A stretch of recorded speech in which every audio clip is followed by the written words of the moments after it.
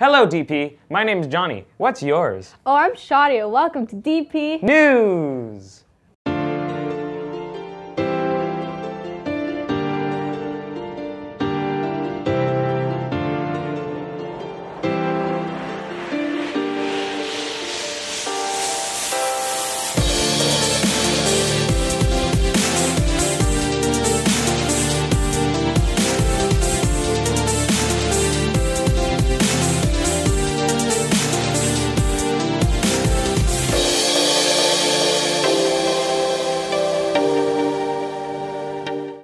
Hey, Shadia, did you know the local color and literacy magazines are taking submission from you guys? And Johnny, you can go to dpnews.org for more information.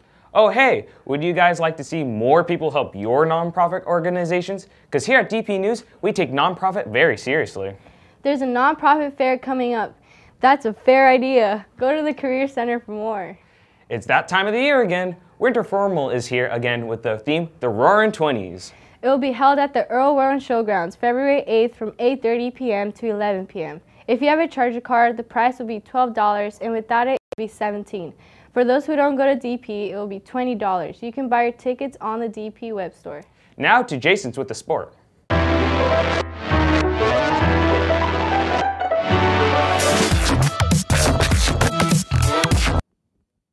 Yesterday morning, the boys volleyball hopefuls were here at 6:45, hitting, passing, and setting. Tryouts continue tomorrow morning at 6:45 a.m. in the gym. Any questions?